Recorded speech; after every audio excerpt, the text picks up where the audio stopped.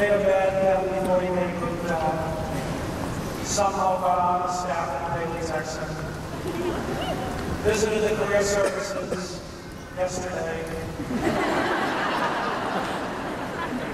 Watched Longhorn football, harassed the TAs and schmooze the faculty. But now you're really, really good at being a college student. Today, you're a professional.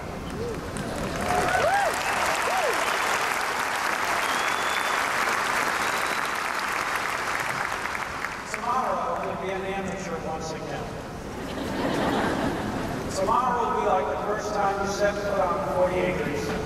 Tomorrow you're going to have to learn something new. And learning something new is a colossal pain. There's something inside each of us that wishes the world would stand still so it can stay in its forever. Never leave our friends. Eat the same well-known restaurant every day.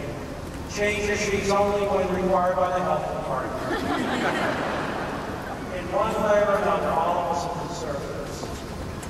but life is not a conservative. Life is a liberal.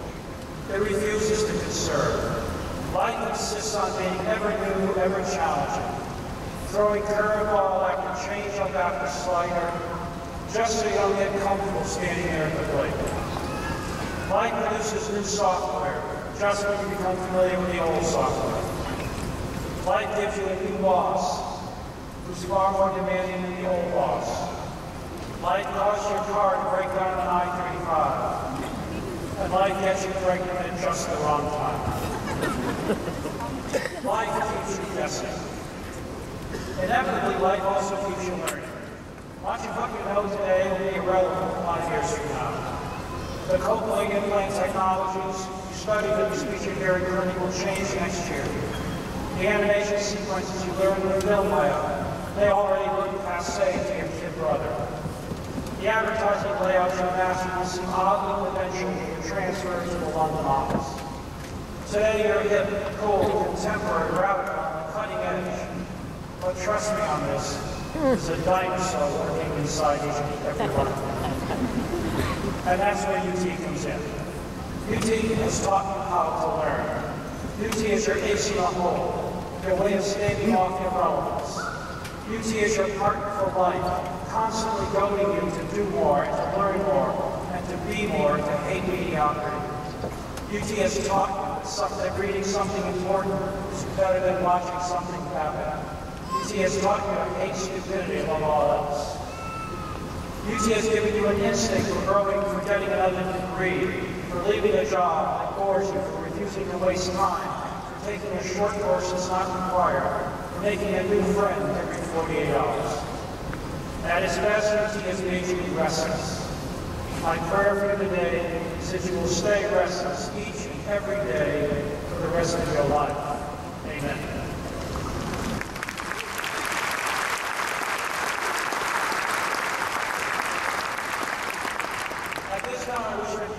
back the marshals of the department, Professor John Murphy from the Department of Advertising and Public Relations, and Grand Marshal. Professors Courtney Byrd and Tom Marquardt, Department of Communication Science and Disorders.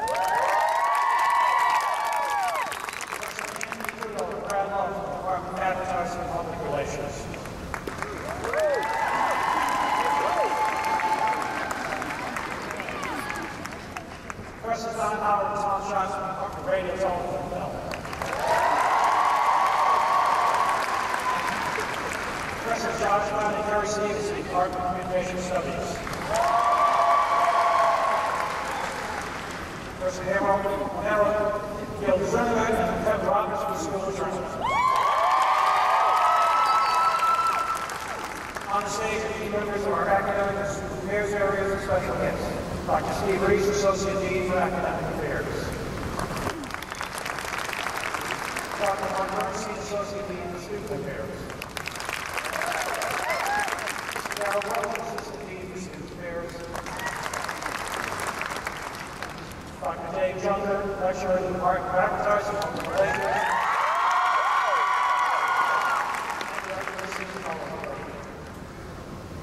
Some to say that academic institutions are stronger than the strength of faculty. We're blessed to have a faculty who love working with young people as much as they love working with ideas. I'd like to ask the faculty to stand and be recognized.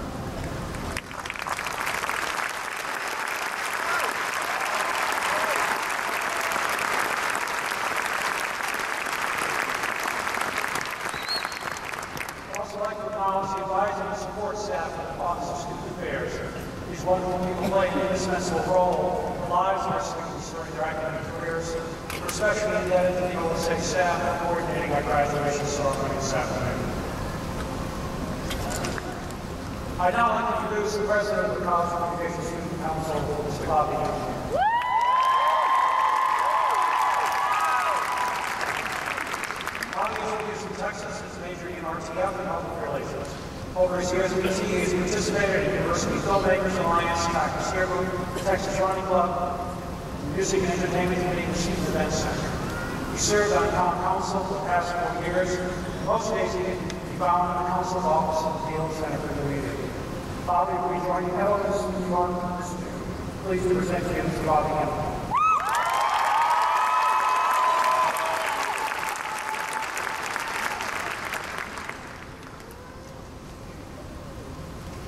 Be persistent in your struggle and own your craft. Jack London, author of Call the Wild, once gave that advice. But what does that mean, owning your craft? And how do you go about doing well, I looked it up. The definition of the word craft has evolved over time. In Old English, craft meant power and strength. Later, the definition expanded to include mental power, and the meaning eventually develops a modern interpretation of a craft as a skill and a talent. Some interpret craft as a calling, which is how I would like to think of our pursuit of degrees from this college. A craft is not a hobby. It's not a job. It's not even a career. A craft is a lifelong commitment to excel in something that requires unique skills sculpted over time. I believe we do not choose our craft, rather it chooses us. We've sought degrees in advertising, public relations, communication studies, communication sciences and disorders, journalism, and radio, television, film because we have innate talents and skills that exist in the very fiber of our beings. Our unique talents in writing, speaking, and creating determined our callings, our crafts, long before we arrived at this university. Drawing from the Old English definition, our crafts pull our inner power, and this power will motivate us for the rest of our lives. While we are done with lengthy term papers, dreaded room projects, and last-minute all-nighters. We are never finished honing our craft.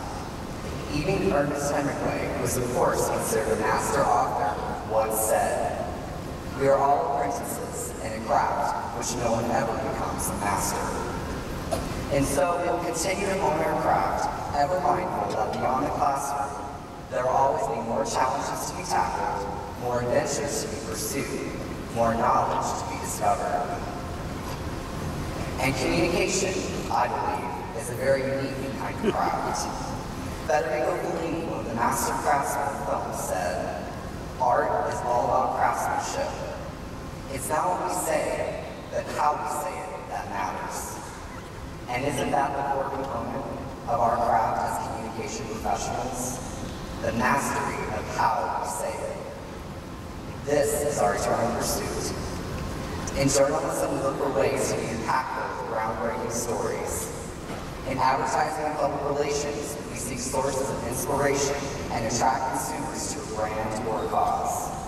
In radio, television, film, we find new ways of visually telling stories that those normally unseen and unheard. In communication sciences and disorders, we open the doors of communication, both verbally and nonverbally and in communication studies, we work at developing the best methods of reaching audiences. Hone your craft is an individual effort that only you can determine. Don't ever allow anyone to determine or criticize your path, your career, or your life. The craft is yours and yours alone. On individuality and pursuing inner callings, I refer to an excerpt of Steve Jobs' commencement address to Stanford University in 2005. Steve Jobs dedicated his life and craft to the advancement of technology, and he proved to be a master craftsman, not only the products he created, but also his genius approach to relating and communicating with people. I believe his following words are crucial for every graduate as we pursue our own individual craft. He said, your time is limited, so don't waste it living someone else's life. Don't be trapped by dogma which is looking for results of other people's thinking. And don't let the noise of others' opinions drown out your own inner voice. And most important, have the courage to follow your heart and intuition. Stay hungry, stay foolish. And to that, I would like to add, stay fearless and unapologetic as you pursue your craft. On behalf of the graduates today, I'd like to extend a heartfelt thank you to all the friends and family who have traveled this weekend to be with us today. Thank you for your support, both emotionally and financially, throughout our education.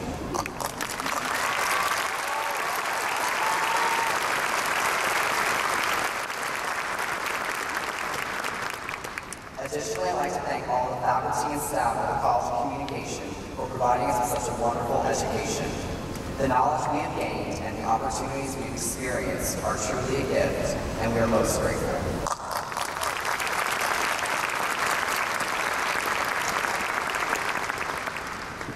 I am certain that we, the graduates of 2013 class of college communication, will always still stay hungry and have the inner drive to continue along our individual journeys of pursuing our calling.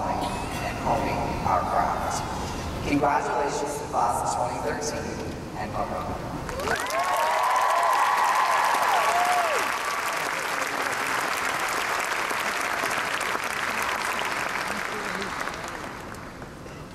Thank you, Barbara. college. I wish you the best of luck in all your future endeavors. Our speaker today is Mrs. Stan Richards, Principal and Creative Director of Stan Richards Group headquartered in Dallas. Stan graduated from Pratt Institute New York, and earned less than 20 years, he built Richards Group into one of the nation's premium creative agencies. Stan's work has received awards at virtually every major competition in the world. The Dallas Society of Visual Communication, for example, is designated him, quote, single individual who over his career has made the most significant contributions to the advancement of creative standards in the southwestern United States. In 1985, Stan was honored by Private Citizen 1986 in honored with an advertising agent, cover story, also that same year, Brad Week named Executive of the Year and was included in the Wall Street Journal's Giants of Our Time. 1988, Sam's first named Agency of the Year by Happening, as well as in 1990, 1994, once again in 2000. 1995, Sam's was named Entrepreneur of the Year by Inc. Magazine. 1996, our college named Stan the recipient of the Good Award for his leadership in Water Communication Fields. Previous honorees include Walter Cronkite, Ted Turner, and Bill Moyers. In 1999, Stan received the highest honor available for creative and physical profession in the Art Directors Hall of Fame, joining luminaries such as Walt Disney, Norman Rockwell, and Andy Warhol. Stan is also active in civic affairs, having served on the boards of the Salvation Army, Municipal School of Dallas, YMCA, Dallas Symphony Association, United Way, Mayo Center for Generation. Stan is my credit, married for 55 years, and have two sons. Brad is the creative director at his own agency in San Francisco, and Brad is a clinical psychologist. In addition to all this, Stan is one of the kindest, most generous people I've met in my nine years as dean. It's a personal and professional pleasure to present to you, Mr. Stan Richards.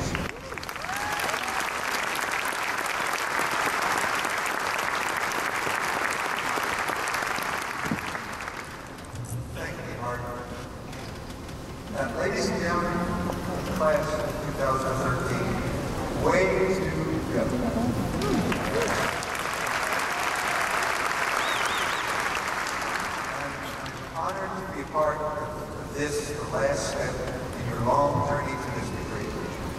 You have one more trial to endure. I promise I will be great. Your parents and faculty, to you too, way to go for your encouragement and guidance, and let's be honest, your sheer endurance. Congratulations to you all. Earlier this year, after Dr. Hart invited me to speak I was thinking about you guys and this school and its high standards and great reputation and the rigorous work you've done to be wearing your stats and cameras. The talents you've discovered at home, the knowledge you gained, the relationships you've built. What a tremendous launching pad this is for you, not only for success in your career, but in many other aspects of your lives.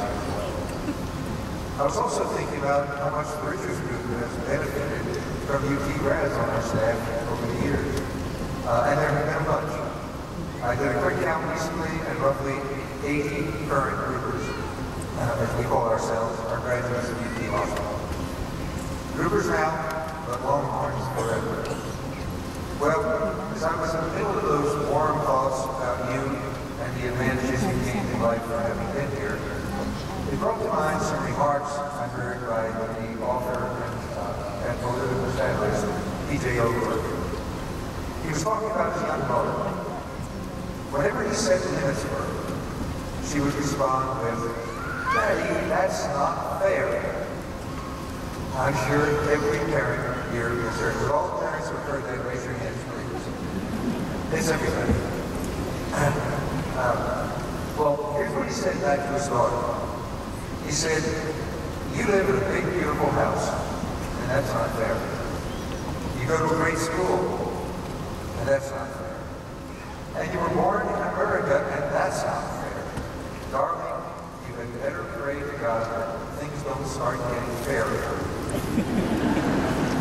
now, that was a pretty sharp line, but it's hard to argue with that one. As much as we may value every person equally, there's no disputing that life's advantages are not distributed if we accept, as we must, that life is unfair, then we have to accept that you, as graduates of a school like UT, have been given a ton of unfair advantages. You can feel guilty about that, although you shouldn't. Assets like the ones you have are something to feel grateful for. Having been given unfair advantages, the question is, what do you want to do with them? I'll offer some suggestions about that. But first, let me tell you a little of my own history with unfair advantage. I grew up on the East Coast in Philadelphia and Atlantic City. I was one of those kids who took to art at a very early age. The little kid who was always drawing painting something. I, some of you were probably that kid too. I didn't have a good upbringing. We were middle class, very. But here's where I got my unfair advantage. My mother, in particular, respected art and culture, and she wasn't merely encouraging of my little artistic efforts. She was muse.